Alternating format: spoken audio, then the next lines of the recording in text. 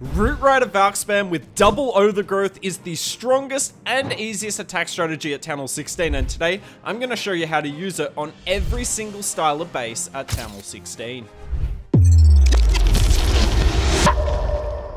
We have showcased this army on the channel before, but that was mainly against ring bases. Today I'm going to show you how to take down every style of base at Town Hall 16. Now before we get into this attack, let's talk about it because the strategy is as simple as this.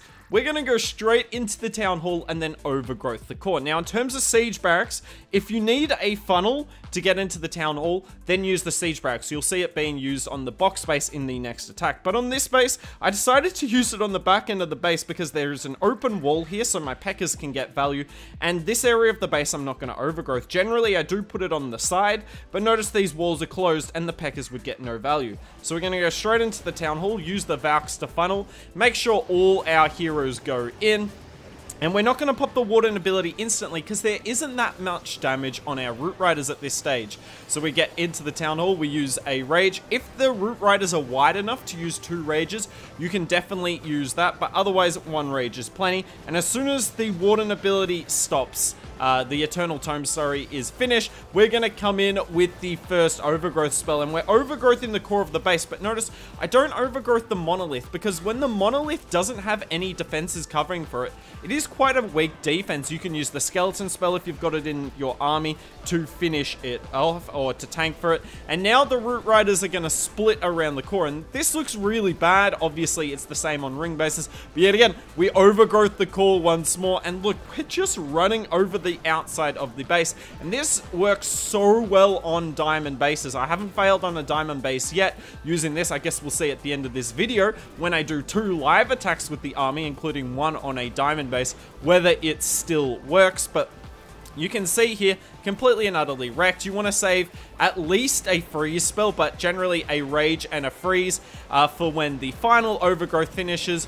King ability is crucial. The longer you can hang on to him, the better. And look, we are going to swag three spells in this one completely and utterly wrecked. But let's jump into a box base now. Box base here. We are going to be entering into the town hall but notice the eagle artillery is not in the core of the base and i won't be able to get my overgrowth on it because the overgrowth is going for the monolith and the single infernos in the core. So i decided to use the flame flinger here and this is the only reason you should use the flame flinger in the army is if you can use it to get rid of the eagle artillery. Otherwise the siege barracks is far better. You get those P.E.K.K.A.s and wizards to help funnel or or take down the back end of the base as you saw in the last attack. So the Flame is coming in here. Worth noting, I have to use two Valks to go look for Teslas. Now, the best version of this army would include uh, would include a couple of super buffs, so you drop say two or three Valks and bring four or five super buffs, but in today's video, I decided to bring a super troopless version of the army, something that we can all use. Now, because I don't have the siege barracks, I have to do a wider line of uh, root riders here, much wider than we saw in the last attack. We come in with the Valkyries behind, and we pop that Warden ability nice and early whilst he's covering a lot of it, and we do use the double rage, because as I said, it is a wider line of troops, and then as soon as that Eternal Tome we are in with the Overgrowth spell. We get the single Infernos and that Monolith in the core. But the scatter compartments on box bases are really tough. And it's not like ring bases where you can save all your spells to the end. You are going to have to use a couple of spells on these side compartments. Notice I use some and a Rage spell on the left-hand side. You generally don't want to do it, but there's a Tesla farm. There's a lot of major defenses there. And the King and RC are kind of chilling on the bottom side of the base. We get that second Overgrowth down as soon as you know that the first overgrowth's kind of close, just look at the core of the base. We got a Headhunter to deal with Defensive King, helping our Yetis out, and I want you to have a look at the last spell I've hung on to. It's deliberate. We know the core of the base has two single Infernos and a Monolith, so from the start of the attack, I knew I was going to save this skeleton spell to the very end. We pop the RC ability. This monolith is not going to do a whole lot. It is shooting at the Yeti, but it's going to be completely tanked for by skeletons now. We're swagging that Queen ability, and this box has been wrecked. But what about ring bases? Let's jump into one of those. And the last major base style, ring bases, is the perfect base style for this army. If our editor is going to be a nice person, we'll link the video above where we showcased this army against ring bases. Now, admittedly, I did panic a little bit here and I did pop the power potion.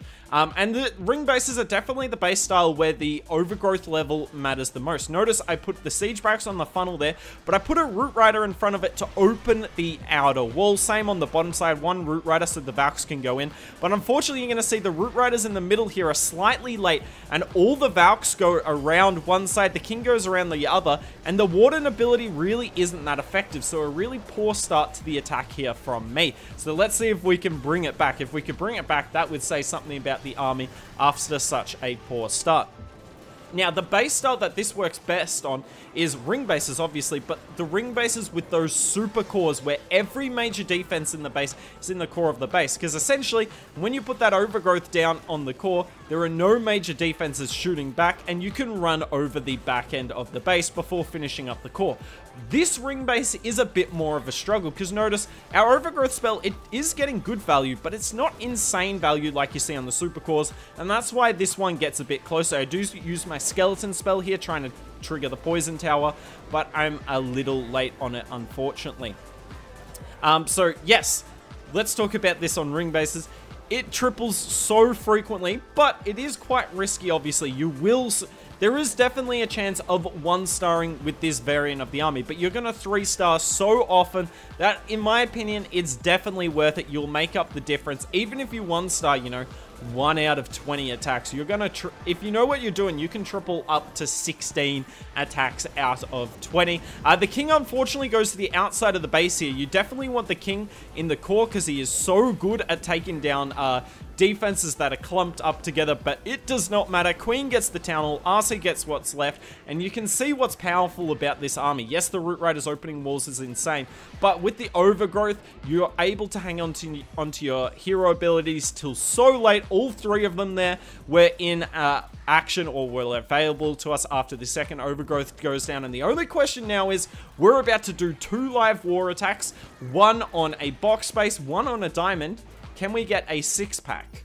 There's 12 minutes left in war, and I have four attacks to do. Two with the Overgrowth Root Rider attack, and then two Queen Charge Root Riders, which is tomorrow's video. So let's go and give this a go. Coming in with this, now what base style have I picked for us here? That's right, we're coming in on a Diamond, and then the second war attack will be against a box. I definitely feel better about coming in on this Diamond than I do the, uh, the box, but we'll see what ends up happening.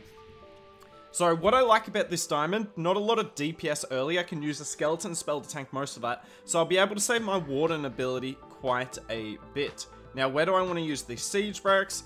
I kind of want to use it on the funnel. I believe in the power of Valks and Root Riders to set this funnel.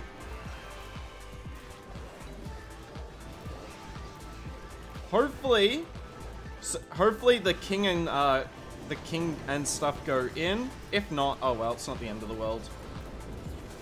So we got the P.E.K.K.A.s and everything down there. Alright, this is not exactly the split I was looking for.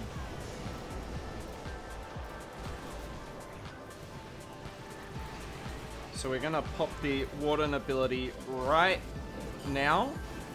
I haven't even used an Overgrowth yet. That's what I kind of like about this. Not to matter as much having the low level overgrowth. Oh, I should have done that a second earlier. Headhunter doesn't quite kill the uh, champ.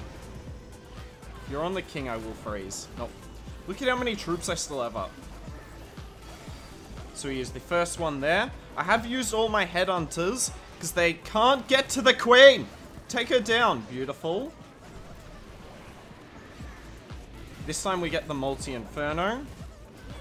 RC's over there. Now, the good thing about this attack strategy is when you've only got 12 minutes in war to do 4 attacks, but this attack strategy can be done in 2 minutes, you are definitely more likely to get all your attacks in. I haven't even planned my second Queen Charge Root Rider hit. We'll see how that goes. I'm going to sit on my king here, because the later I pop, means he'll switch from the king to all these defensive troops. Uh, defensive buildings, sorry. RC ability for you all, and this looks pretty wrecked to me. And look at that, my queen's gonna finish off. Oh my lord, that P.E.K.K.A. has started all the way down here with my siege barracks and has lived the whole battle. That's what I really like about the siege barracks on the funnel. Thankfully, my king went the same way as it and kept it in, but yeah, These diamond bases seem to get wrecked by going straight into the town hall, but does the same thing happen on a box base? I deliberately picked quite a tough box base because look at this. There is a lot of damage before the town hall, so quite likely I'm going to have to pop my warden ability before the Giga explosion, which means it's going to be tough getting out of the town hall. I haven't decided whether I'll overgrowth the monolith or not. I don't think I will. I think I want to kind of uh, overgrowth around it, and then the skeleton spell gets way more value. I'm going to tank for this siege barracks here, so the P.E.K.K.A.s, because I don't want them running around. Want them coming in.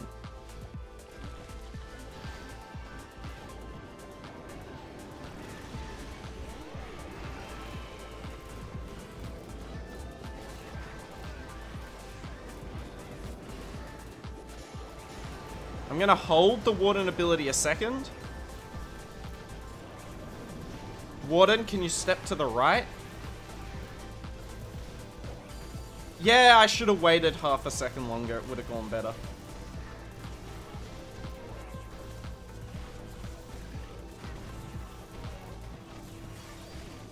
Yetis are going on that top side. I haven't seen where the Root Riders are going to go yet. Good Yetis. Once I see where the Root Riders are going to go, that's that'll determine my Royal Champion.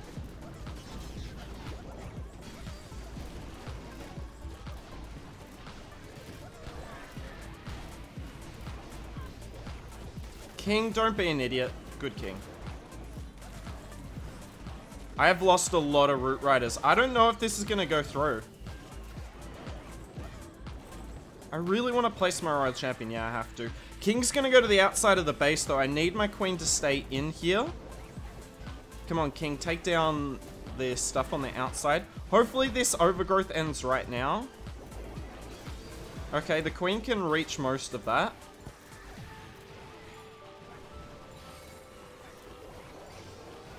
Yes, the Poison Tower misses the Royal Champion. That's actually huge for us. Unfortunately, the Fox gets picked off, and I think the Fox dies here. That is the Fox nerf for you. Oh, that was a wasted rage. That was definitely a wasted rage. Uh, I don't know if I get it, because I can't reach that scatter. I did need to get that uh, scatter down, so I understand why I raged, but the Royal Champion went for the multi-arch tower anyway. This P.E.K.K.A. Oh, well, I was going to say this P.E.K.K.A. needs to tank. This P.E.K.K.A. is not going to tank much. Now, maybe I shouldn't have popped the Queen ability before, but I was kind of happy I did. Oh, I wish the King beat the wall. Queen, eh, you have to finish off that. Okay, good Queen. Problem is, there's just so many freaking walls for the King to beat through, and I think this is time. I couldn't afford the Warden to die. That was a big one. 99. There you go. So the strategy is strong, but it's not broken, particularly on these bases where there's a lot of damage by the Town Hall. You can't use the Warden ability to negate that. Uh, I definitely, this is definitely a time fail though, because uh, the the Phoenix would have finished off this scatter. I should have kept that freeze, probably. Should have kept the freeze for the rest of it. So the strategy, look, it's not out and out busted. You can fail with it, but I don't know what I'm doing with this strategy, and I'm still getting pretty close.